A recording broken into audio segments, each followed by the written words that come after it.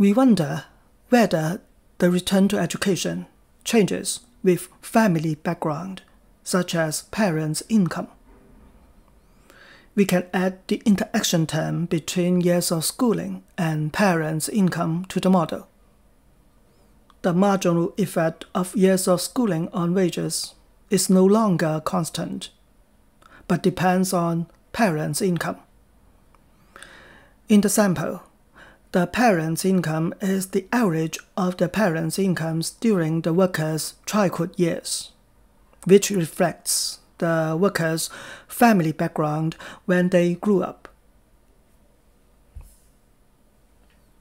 In Stata, the pound sign is for the interaction. Uh, we treat the variables as continuous variables, so we add a prefix of C dot before them.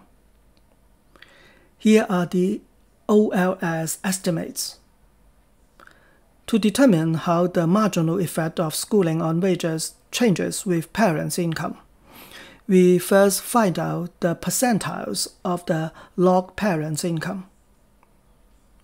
The median or 50th percentile is 10.3.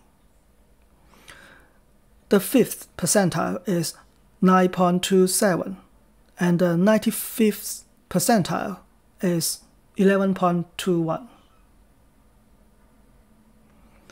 Then we can calculate the return to education for these three different percentiles of parents' income.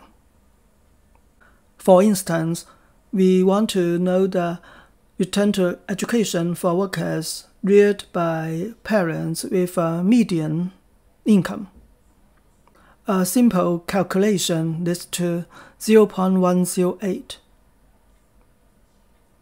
We can also use Stata's margins command with dydx and add options to perform the computation for parents with 5th percentile, 50th percentile, and 95th percentile income.